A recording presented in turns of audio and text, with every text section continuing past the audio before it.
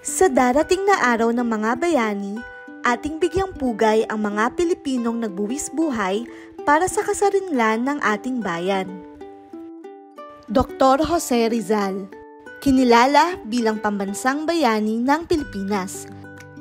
Ilan sa kanyang akda ay ang Noli Me Tangere at El Filibusterismo na siyang nagsiwalat ng pang-aabuso ng mga Kastila sa mga Pilipino. Si Rizal din ang nagtatag ng La Liga Filipina. Ito ay samahan na binubuo ng mga Pilipinong nagnanais na matigil ang pang-aapi ng mga Kastila. Si Rizal din ang nagsabi na ang hindi marunong lumingon sa pinanggalingan ay hindi makakarating sa paroroonan.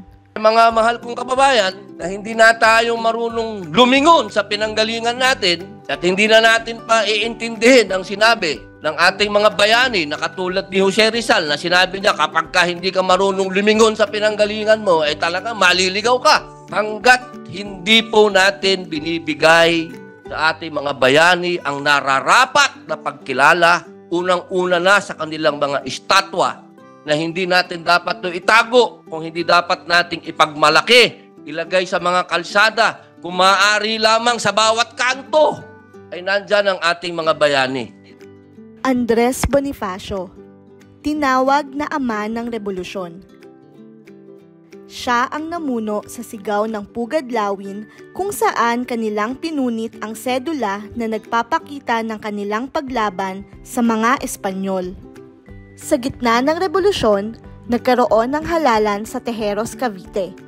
Naihalal bilang presidente si Emilio Aguinaldo at tagapangasiwang panloob naman si Bonifacio. Bilang Direktor de Interior, Andres Bonifacio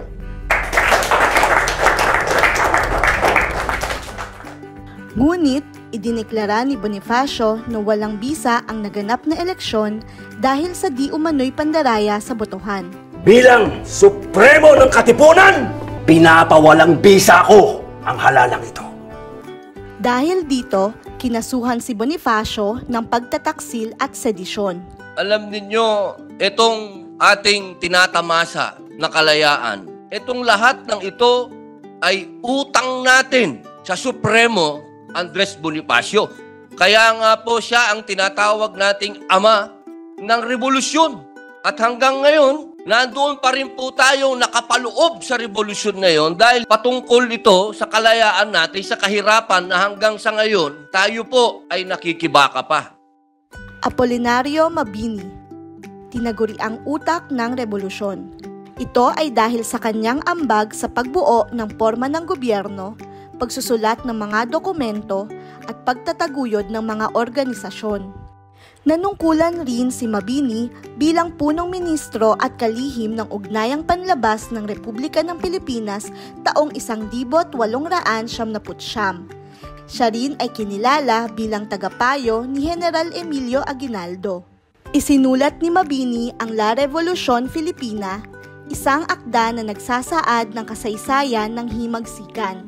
Sabi nga po ni Apolinario Mabini, ano, freedom is liberty to do right and never wrong.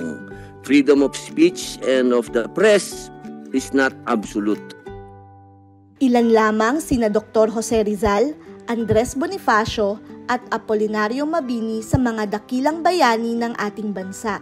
Higit sa lahat, hindi po tayo isang demokratiko at malayang bansa kung hahayaan natin makulong sa pag-uusig at paglilitis ng mga banyaga. Hindi po papayag si Andres Bonifacio. Hindi rin papayag si Jose Rizal. Sila ang pangunahing dahilan kung bakit malaya at demokratiko ang ating bansa. Isang pagpupugay sa kanilang kadakilaan. Mabuhay ang ating mga bayani.